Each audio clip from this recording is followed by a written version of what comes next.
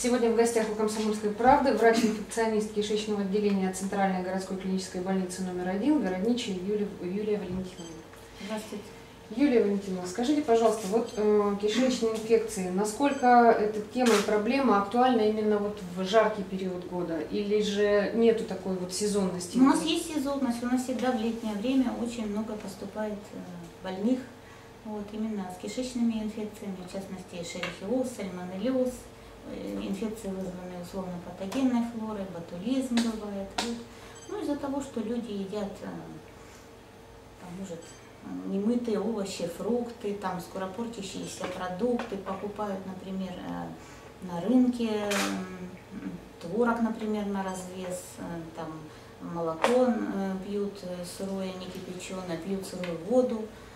Ну, в общем, так что у нас сезонность все время так наблюдается в течение дня, ну, человек 6-7 поступает. Это в летний период, ну, да? А если сравнивать вот с осенью, зимой? Ну, там, конечно, уже так. Меньше, да? Да, меньше, да. Ну, тоже бывает, все равно же. Сейчас даже и в крупных супермаркетах тоже есть и просроченные продукты, и все равно вот, э, вот и станция ведет эпидрасследование. И вот часто у нас люди из больших супермаркетов, ну, не буду называть их, а вот тоже поступают к нам, получается у них все, ну, в общем, кишечные инфекции, всякие сальмонеллезы, шельхиоз, ну, те же самые, в общем так. Можно ли выделить какие-то наиболее опасные кишечные инфекции? Чем они ну, а все как бы могут опасны. Если человек, например, будет дома лежать, не будет себе, например, сам первую помощь оказывать, не будет вызывать врача, это все может пролонгироваться, и у него э, затянется и диарея, э, будет лихорадка, боли в животе, ну все это будет сопровождаться, и в конечном итоге может и давление упасть, могут быть судороги, обезвоживание организма. Ну, в общем, надо срочно вызывать скорую помощь, ехать в стационар. Ну, если, если можно для наших читателей, вот первые признаки, как себя вести, если у вас появились первые признаки? Первые признаки, ну так это может быть слабость, э, головная боль, повышение температуры, тошнота, многократная рвота, боли в животе, диарея. Первые признаки надо начали хотя бы самому промыть желудок, выпить хотя бы 3 литра воды и самому вызвать рвоту. Вот, хотя бы вот так и выпить сорбенты, это, например, активированный уголь, вот, или сейчас белый уголь, атаксил, вот эти вот сорбенты. Ну вот, и я думаю, вызвать врача или скорую помощь, в общем так. Чем, чем опасно, вот если человек, допустим, не своевременно обратился, и у него уже тяжелая форма вот этих заболеваний, чем они опасны? Они дают какие-то осложнения? Ну да, так может быть токсикоинфекционный шок, гиповолемический шок, в общем, попадают у нас и в реанимационное отделение. А были смертельные случаи? Редко, ну да. В этом году не было еще? Слава Богу, нет. Да. Вот э, говорят, что очень опасный такой момент. Вот сейчас детки в пришкольных лагерях, там, в лагерях отдыха. Не было ли вспышек кишечных инфекций вот именно в детских учреждениях? Ну, насчет детских я вам точно не могу сказать. Но я знаю, у них всегда очень много людей. У них сейчас человек 50 лежит. Вот. Поэтому ну, за, детьми, за детьми, наверное, сложнее может уследить. Немытые, а в основном ну, руки. Вот. Может, там ну, воды выпили сырой или еще что-то мама не уследила. А, еще молочные ж кухни, там же тоже есть кто-то все. Вы слышали, да, вот эти случаи были? Там, ну, помните, да, когда вот у нас было в первой больнице, тоже что такое были. Давайте перейдем к вопросам, которые к нам пришли от читателей. Ага. Татьяна задает такой вопрос. Добрый день, порекомендуйте, пожалуйста, лекарства для отпускной аптечки на случай отравления и других неприятностей.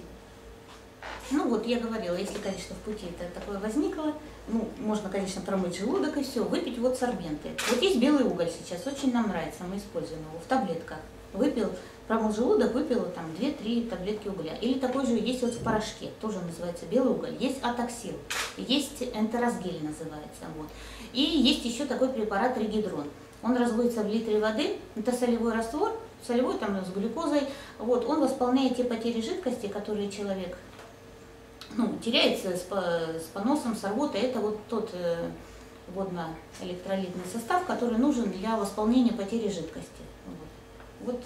Ну, ферменты, конечно, это фистал, мезим, вот, э, ну, если боли в животе, там, ножку, спазмолитики, дуспаталин, э, метиоспазмил, спазмомен, ферменты вот эти, мезим, фистал, крион, пангрол, Вот. Ну вот антибиотики я не порекомендую, потому что у них на них, у людей может быть аллергия на них. Вот. Поэтому, ну может сталозол так вот взять с собой. Антибиотики, конечно, они у нас сейчас хорошие, эффективные, но в редких случаях на них бывает аллергия. Вот это препараты норфлоксацин, ципролет. Вот, поэтому лучше самому не принимать Ну да, без назначения врача. Левомицетин не нужно применять, потому что к нему бактерии все устойчивые. Вот, и левомицетин он вызывает много побочных явлений, там агранулоцитоз и, в общем, все остальное. Поэтому мы его применяем в клинике только в своих там, целях, там, ну, при лечении, например, брюшного тифа там, или еще чего-то такого. Левомицетин не нужно. Нет. Хотя бы фталазон. И модиум нельзя, вот лапирамид, это не нужно. Потому что там, напи- э, там написано, что противопоказание э, инфекционная диарея. А если у человека лихорадка есть, э, явление энтерита, ну, гастроэнтерита, ну, в общем, этого не нужно делать, потому что получается, ну, как бы замкнулись все сфинктеры, э, и э, инфекция там в организме находится, ну, в общем, в этом, в кишечнике. И получается, что поноса у человека нет, а лихорадка становится все выше и выше, выше интоксикационный синдром, и человек, в общем, становится как бы хуже, и он не поймет, в чем дело. Вроде поноса нет, а состояние такое же, в общем, ухудшается. Вот так вот. По продуктам, я не знаю, может быть, у читателей есть такие вопросы. Можно ли как-то разделить на группу продукты, от которых в жару лучше вообще отказаться? Вторая группа, которыми нужно очень внимательно там, следить за сроком годности. Третья, которую можно в любом случае спокойно употреблять. Ну, если вы что, все равно каждый человек хочет, же, например, молочные продукты покупать. Ну вот мы же всегда спрашиваем, если куп- покупаете творог на развес на рынке, это вы чаще всего там может быть и стафилококк, и глиптела. Он же находится на открытом воздухе, мало ли его какой-то ложкой накладывают там, э, ну, условия там не очень э, хорошие. И э, лучше вот все-таки в супермаркете покупать, там и срок годности указан, вот, сметаны, молока, например. Молоко тоже на разлив, если покупать, ну, нужно его кипятить.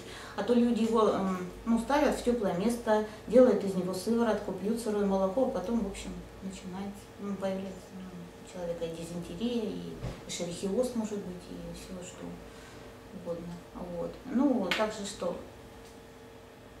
А, насчет э, таранки, вот, э, вяленой рыбы, лучше тоже сейчас ее не покупать, потому что есть такие же сейчас случаи ботулизма, вот, и э, неправильные ну как, условия приготовления идут этой рыбы, потому что ее продают везде, могут там бабушки, она не потрошенная, это вот вяленая рыба. Лучше все-таки, ну я не знаю, может в супермаркете там какие-то все-таки условия контроля есть, и там она как-то более лучше готовится, и она потрошится, и вот Ну, лучше от этого отказаться, да. Ботулизм есть, и у нас сейчас в клинике есть, да. Ну вот. Первые симптомы, это же может быть двоение в глазах, может быть птоз, ну это опущение век, может быть нарушение зрения, двоение в глазах, нарушение глотания, человек поперхивается при глотании даже воды, нарушение может быть дыхания, может быть одышка, но это сро- надо срочно к врачу. Ну, это же вообще страшно, это да? очень страшно, надо срочно вводить противоботулиническую сыворотку и, в общем, лучше вообще на, на море, вот везде на отдыхе не покупать вот эту никакую рыбу. А сладости Вот. всякие там, Да, пирожные сладости. или- Ну, тоже, да, вот ч- лучше, я тоже говорю, все-таки в супермаркете, может так, на улице что, тоже она стоит на открытом воздухе, и пыль, и грязь, и вот э, условия реализации там же тоже не сохраняются. Поэтому тоже может быть и стафилококк, и шигела, ну, это дизентерия, А вот, и шерихиоз, и, в общем, все то же самое. Вот у нас были случаи отравления и эклерами, и пирожными, белковым кремом. В Яйца лучше не пить в сыром виде. Э, Если вы готовите яичницу, лучше жарить с двух сторон. Само яйцо нужно варить 5-7 минут, ну хотя бы 7 минут. Потому что случаи сальмонеллеза у нас они все время, и зимой, и летом. Ну, И- вот, вот раньше сальмонеллез был не настолько распространен, как сейчас. А Да? сейчас Чем да. это можно объяснить? Ну, не знаю, все равно люди продолжают пить сырые яйца и перепелиные. Вот им говоришь, они говорят, ну вот от перепелиных не бывает. А все равно у нас же это все задокументировано, у нас и от перепелиных яиц сальмонелла. Ну, они разные тоже. Сальмонелла группы D, группы B. Все это тоже проявляется и лихорадка, и диареей, и болями в животе. Ну, в общем, интоксикацией. И все это очень может длительно затянуться, потом может быть рецидивирующее течение заболевания. Такой вопрос несколько даже с юмором, наверное. Скажите, старый дедовский метод профилактики 100 грамм водки действительно эффективен? Ага. Понятно, если не перебирать, исключительно в лечебных целях. И что там еще, перец, да, говорили? Или еще что Да, добавляют много специй. Ничего не помогает. Поступали к нам, ничего, все равно обращается к нам. Нужно промыть желудок вначале, вот так вот. А потом уже сорбентовать. Ну а что, водка так не поможет. Вы сказали промыть вод, ну, воды выпить воды, много, а добавляется воды. туда что-то в эту Да воду? можно не добавлять, просто обычное, промыть. Тогда вот если человек промоет желудок, у него может быть э, потом и не, не будет ни диареи, ничего. Будет как пищевая токсикоинфекция. Вот. Выпил потом регидрон, и потом уже состояние может и улучшиться даже, да. А вот такой вариант, без... как раньше с марганцовкой воду. Не, ну тоже можно. Ну сейчас же марганцовку ну, вы же не купите в аптеке, да, сейчас ее же не продают. Просто обычно и восполнить потери жидкости регидроном. Ну вот. Такой вопрос Галина задает вам. Какие инфекции, кроме кишечных, еще особенно опасны в жару? Слышала, что этим летом, как никогда, много людей болеют бактериальной ангиной. Правда ли это? Ну, ангина все время болеет летом, потому что люди употребляют в пищу холодные продукты. Но ангина, она обычная у нас, вот у нас высшее диагностическое отделение, у нас там ангины лежат. Ну, в общем, она ангина и есть ангина. А, Наталья задает вопрос. Собираюсь в автобусный тур. Подскажите, пожалуйста, какие продукты питания не испортятся за 16 часов пути? Какой срок ну, хранения продуктов в вакуумной упаковке? Ну, я думаю, все, колбасы, сыр, все равно нужно колбасу, может, я думаю, сыра все-таки не брать. Все-таки в теплых условиях там а, она только может храниться в холодильнике, даже если там срок годности указан, даже если в вакуумной упаковке. Я думаю, можно взять овощи, фрукты, хорошо их помыть, пить побольше жидкости. Ну, как-то, я думаю, можно выдержать все равно чтобы случая отравления не было. Ну, если там мясо только э, отварное взять и, ну, как бы сразу его съесть, я думаю, не так, не молочный. Ну, там, хлеб взять, да. Стандартная дорожная еда, вареные яйца всегда. Ну, можно, да, ну, а с яйцом, я думаю, так ничего. Ну, недолго так, ну, вот. Ну, ну сюда, ну, да, наверное. Хорошо сварить так и... Ну, что ж. Подскажите, пожалуйста, ребенок периодически жалуется на боль в животе, которая через время самостоятельно проходит. Стул и анализ крови нормальный. Может ли это быть кишечная инфекция? Ну, надо его, во-первых, врачу показать. Я не знаю, там характер боли. Вот. У детей же вообще все по-другому как бы происходит. Э, это нужно врачу показать. Бывают и инвагинации, и кишечные инфекции, все что угодно может быть. И не, не, там же нужно ребенка посмотреть, и может недостаточно, вот что он сдал там э, анализы, может еще какие-то нужны дополнительные методы исследования. Вот. Поэтому надо врачу показать, я думаю что там с ребенком. Бывают явления и холецистита, и дискинезии, и гастрит, и все что угодно может быть. Дисбактериоз кишечника. Вопрос от Александра. Скажите, пожалуйста, как часто в нашем регионе появляются новые инфекции? Как с ними надо бороться? Не знаю, мы пока мы новых никаких не видели. Мы боремся со старыми. Вот, мы всегда проводим просвет работу, чтобы люди не употребляли просроченные продукты. Вот, чаще покупали в супермаркетах хотя бы. Вот, мыли руки, соблюдали сами ну, правила личной гигиены. Ну, у нас пока те же самые инфекции сальмонеллез, дизентерия, шерихиоз, и ботулизм и ну, все остальные. Камовых нет. По поводу мытья продуктов, такой вопрос от Ольги. Скажите, пожалуйста, правда ли говорят, что если какой-либо продукт упал и был очень быстро подобран, то микробов на нем не прибавилось, и его можно Я бы его вымыла все равно, не знаю. Я боюсь. Все равно можно заразиться, ну, хотя бы дизентерией. Нет, ну может и повезет. Ну, я думаю, лучше вымыть. Да. От Олега вопрос. Э, один мой друг никогда не моет фрукты перед тем, как их съесть. Ни сорванные из дерева, ни с грядки, ни даже купленные в магазине. Утверждает, что употребляя их немытыми, он тем самым повышает свой иммунитет. Как мне переубедить друга? Как доказать, что он не прав? Ну, слава богу, ему в те случаи повезло, но когда-то ж может не повезти. Будет у него кишечная инфекция. Но все равно ж нужно мыть. А Я думаю, все время. Водой. Какой? Ну, сырой же водой можно. Ну да. Имеет смысл. Сырой водой тоже можно заразиться. Ну да, но сырую воду уж лучше не пить. Вот, и, ну, ну а как? все равно что нужно мыть. Ну, можно и кипяченый обдать тогда уже в конце. Помыть с мылом. Вот. Все равно, что там частички какие-то грязи там прилип, ну, огурцы, вот если они, э, ну как, с этими пупырышками, или как они называются, да, их же нужно все равно как бы щеткой очистить. Вот. Помыть можно с мылом, ну, если уж так тщательно. Вот. Потом обдать кипяченой водой. Вот.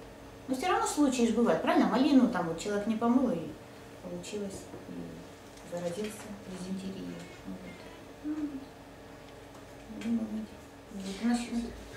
И фильтрованную воду ж лучше ж. Все равно ж нужно кипятить. Вот если уж бактериальный фильтр, вот если бы бактери... потому что у вас нет бактериального, ну, к примеру, вот у человека нет бактериального фильтра. Если там он фильтрует от бактерий, тогда уж можно.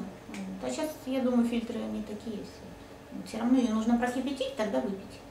Мы всегда вот в эпидонамнезе отмечаем, что пьет сырую фильтрованную воду. Поэтому это может вызвать тоже какую-то кишечную инфекцию. Да. Бывают часто, ротовирусные гастроэнтериты. Вот, часто к вам попадают люди, которые вот э, заболевают именно от употребления воды? Ну, нет, но они все равно что-то в течение, э, инкубационный период же кишечных инфекций до 7 дней, мы же спрашиваем, какие продукты он ел. Конечно, и вода может быть, но это уж э, дело уж станции, там расследовать нужно, без расследования проводить. Все равно он в это время, ну, и употреблял и мясные продукты, и молочные, например, и яйца мог съесть, в общем. Вот в самом быть... начале разговора вы сказали, что да, носит э, инфекционные заболевания носят э, как бы сезонный характер, летом их больше, чем в другие, другое время года. Это проявляется только в нашем регионе или и по, по всей стране? Ну, точно думаю, то же самое? А статистика какая-то ведется вот на фоне других регионов, как мы выглядим по вот этим показателям? Я, конечно, точно не уточняла, но я думаю, везде так.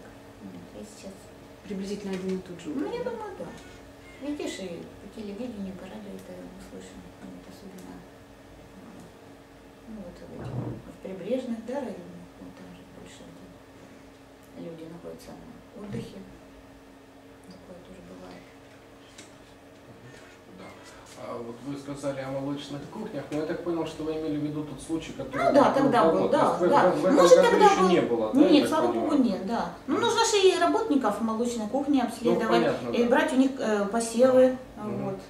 Посевы, кала а и все по, это. Бывает вот, же. Уточнить хотелось бы еще. По детским лагерям, вы сказали, 50 человек, это... Э... Нет, это просто у нас в отделении лежит. А, просто... Нет, я не знаю в лагерях как. Я просто знаю, что сейчас э, кишечная инфекция у них э, также распространены, и что много угу. детей поступает. Ну, то есть, вот, может, мамочка где-то не уследила, все. Нет, ага. а вспышек э, таких нет.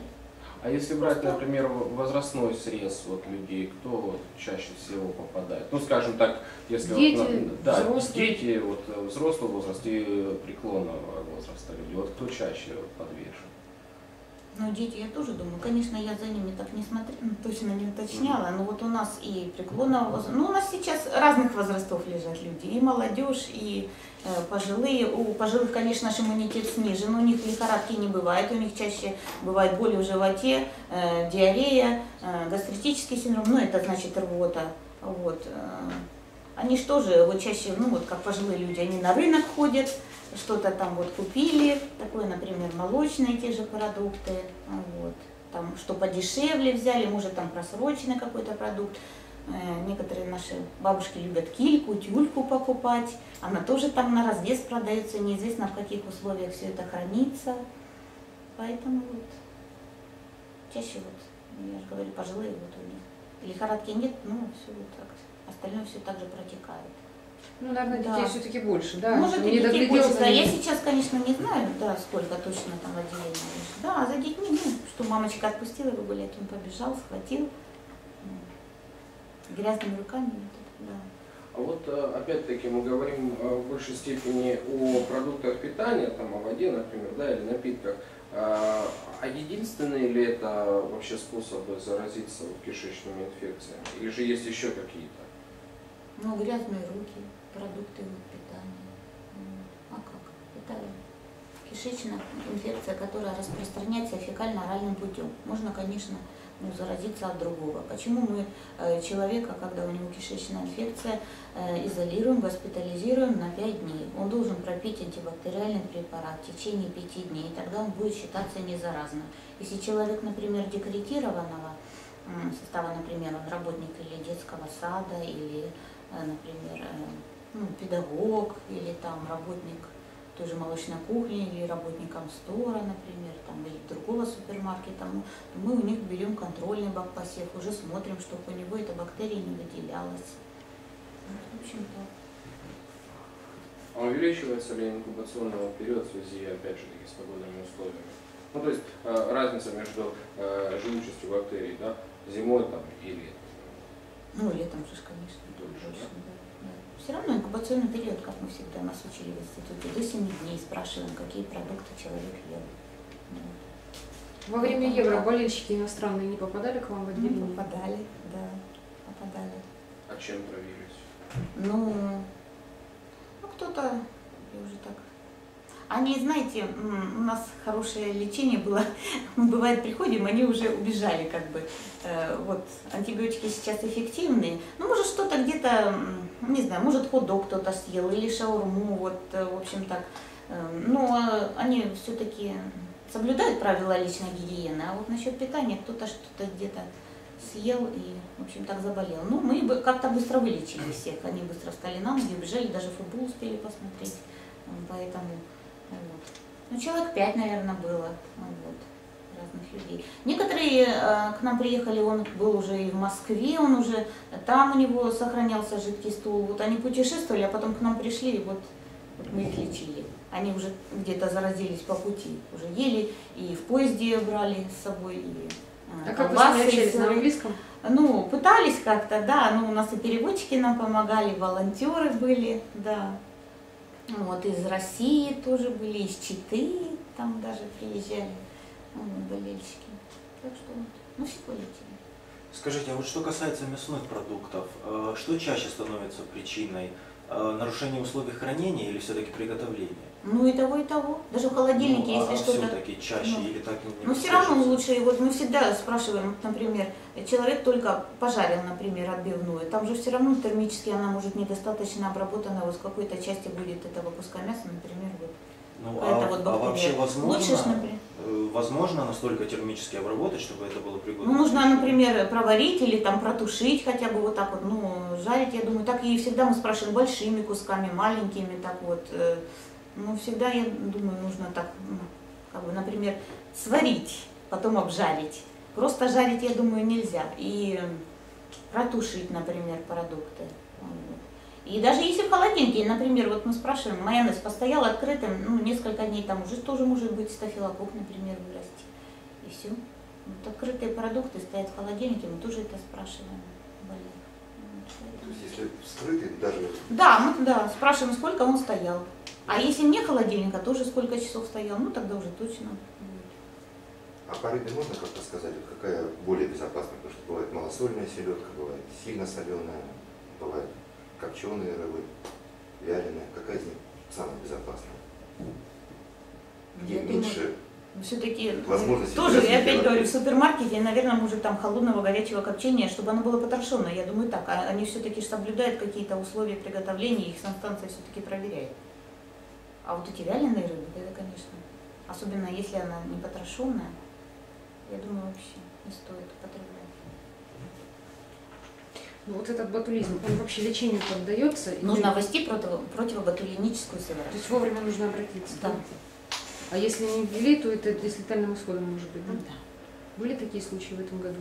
А, в этом, слава богу, нет. А в прошлом? Ну да.